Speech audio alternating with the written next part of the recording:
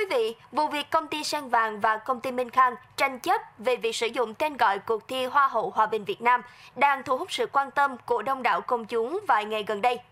Đây là logo cuộc thi do công ty Minh Khang tổ chức, còn đây là logo cuộc thi do phía Sen Vàng tổ chức. Vấn đề là không chỉ khác nhau về biểu tượng mà tên gọi trong tiếng Anh của hai cuộc thi cũng khác nhau. Một bên là Miss P Việt Nam, còn lại là Miss Grand Việt Nam. Xung đột nổ ra khi cả hai đều cùng sử dụng tên gọi tiếng Việt là Hoa hậu Hòa bình Việt Nam. Trong cuộc đụng tên cuộc thi Hoa hậu Hòa bình Việt Nam, đại diện hai công ty đều đưa ra hồ sơ pháp lý để chứng tỏ mình có quyền sử dụng cụm từ Hoa hậu Hòa bình Việt Nam. Tuy nhiên, bà Nguyễn Thị Thanh Thùy có nghệ danh là Thùy Dương, giám đốc công ty Minh Khang cho biết, về tên gọi cuộc thi Hoa hậu Hòa bình Việt Nam Miss Peace dịch thành Hoa hậu Hòa bình là sát nghĩa, còn Grand trong Miss Grand thì không phải là Hòa bình. Chúng tôi bám sát tên tiếng Anh là Miss Peace. Đề án chúng tôi trình đều qua Bộ Văn hóa, Thể thao và Du lịch duyệt. Chúng tôi khẳng định tên gọi của chúng tôi sát với tên gọi cuộc thi của chúng tôi. Bà Thùy cũng nhấn mạnh brand trong tiếng Anh có nghĩa là to lớn chứ không phải là hòa bình.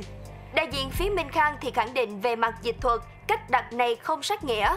Còn phía Sang Vàng thì phản hồi thế nào về vấn đề này? Báo Thanh niên đã có cuộc trao đổi với luật sư Trương Thị Dạ Thảo, văn phòng luật sư Phan Clo Việt Nam về vụ việc này. Phan Clo là đơn vị được công ty Sang Vàng ủy quyền để thực hiện các hành vi pháp lý hợp pháp trong vụ việc tranh chấp tên gọi Hoa hậu Hòa bình Việt Nam với công ty Minh Khang.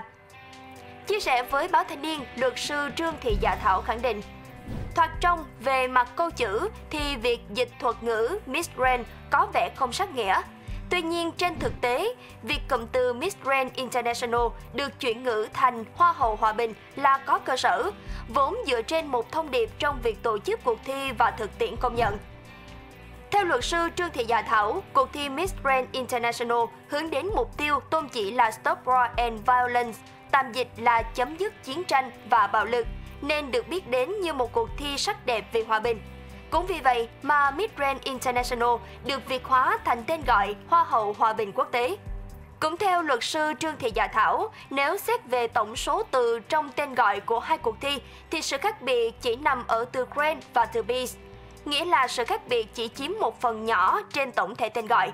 Điều này cho thấy rằng việc kèm theo tên tiếng Anh là không đủ để giúp khán thính giả có thể phân biệt, nhận thức được đây là hai cuộc thi khác nhau.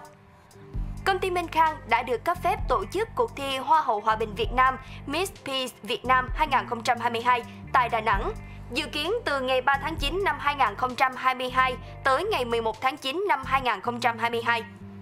Còn công ty Sang Vàng đã phát đơn đăng ký dự thi Hoa hậu Hòa bình Việt Nam Miss Grand Việt Nam 2022 từ ngày 11 tháng 5 năm 2022 và dự kiến tổ chức ở Thanh Hóa.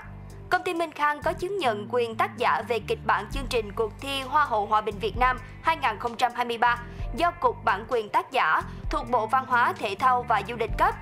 Phía công ty Sang Vàng cũng có chứng nhận quyền tác giả kịch bản cuộc thi nhan sắc Miss Grand Việt Nam, Hoa hậu Hòa bình Việt Nam. Như vậy, hai bên đều đang quyết đấu vì đụng hàng tên gọi.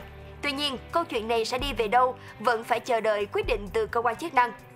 Thưa quý vị, vừa rồi là những thông tin về vụ tranh chấp tên gọi cuộc thi Hoa hậu Hòa bình Việt Nam mà các bên trực tiếp liên quan là công ty Sen Vàng và công ty Minh Khang. Những thông tin mới nhất sẽ được chúng tôi cập nhật trong những tin tức tiếp theo. Cảm ơn quý khán giả đã quan tâm theo dõi. Hãy để lại bình luận, đăng ký kênh và bấm vào nút chuông. Xin chào và hẹn gặp lại.